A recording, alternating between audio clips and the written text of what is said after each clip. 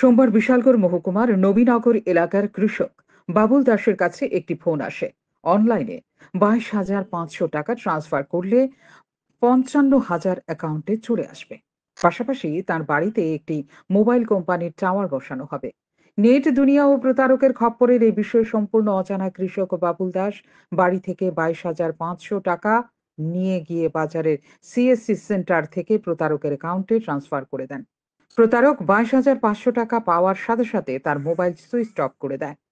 ক্ষতিগ্রস্ত এই কৃষকের পরিবার পরবর্তী সময়ে কান্নায় ভেঙে পড়ে। সম্পূর্ণ ঘটনা বাড়িতে এসে জানানোর পর বাবুল দাসের স্ত্রী স্বস্তি দাস সহ তার নিকট আত্মীয়রা সোমবার সন্ধ্যায় প্রতারকের হাত থেকে বাইশ হাজার পাঁচশো টাকা ফিরিয়ে আনার দাবিতে বিশালগড় থানার দ্বারস্থ হয়। হয়েছে আজকে? আজকে বিকেল আনুমানিক ছয়টার দিকে একটা কল আসছিল ফ্রড কল ওরা বুঝতে পারছে না আমার বডি হয়। বুঝতে পারছে না কল করে আসলে বলতেছে যে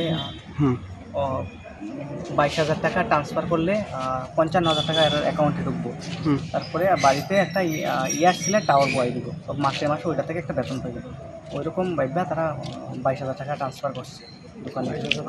বাইশ হাজার পাঁচশো টাকা।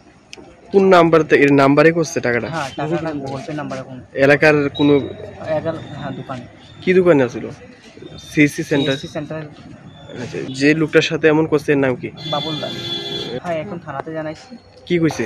তারা কইছে কালকে এখনও বড়বাবু নাই কালকে বারোটার সময় এসে যোগাযোগ করা হবে এখন কি চাও আমরা চাই টাকাটা গরিব মানুষ টাকাটা যত রিটার্ন পাই ওইটাই চাই। সাম্প্রতিক কালে দেশের বিভিন্ন প্রান্তে বিভিন্ন রাজ্যের মন্ত্রী থেকে শুরু করে জেলা শাসক, মহকুমা শাসক, এমনকি পুলিশ প্রশাসনের বিভিন্ন আধিকারিকরা এই ধরনের প্রতারকের খপ্পরে পড়ে সর্বশান্ত হচ্ছেন। সে বিষয়ে বোধগম্য নেই জমিতে কৃষি কাজ করে অন্যের মুখে অন্ন তুলে দেওয়া সেই কৃষকের। নবীনগর এলাকায় কৃষকের নিজ বাড়িতে মোবাইল কোম্পানি টাওয়ার বসবে। সেই আনন্দে কাউকে কিছু না জানিয়ে পরিবারের লোকেদের সারপ্রাইজ দেবে। সেই খুশিতে বাইশ হাজার পাঁচশো টাকা নিয়ে বাজারে এসে কোনো এক সিএসসি সেন্টার থেকে সে প্রতারকের অ্যাকাউন্টে ট্রান্সফার করে দেন কৃষক বাবুল দাস। আর সবশেষে পরিণতি, এই অসহায় কৃষক বাবুল দাস এখন প্রায় সর্বশান্ত বললেই চলে। শান্তন টিভি